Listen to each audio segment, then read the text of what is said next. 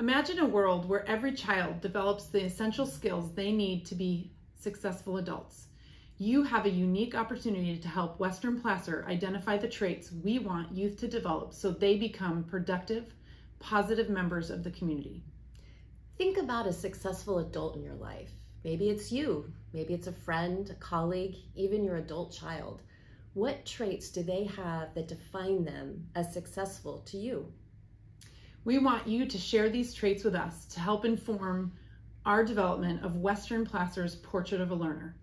A Portrait of a Learner organizes a school and a community around the essential skills, knowledge, and habits of mind that represent the community's vision for learning and prepares students for the world beyond school. Along with this video, you are receiving a link to a form where you can provide us with the skills or traits that you believe are most critical to ensuring adult success.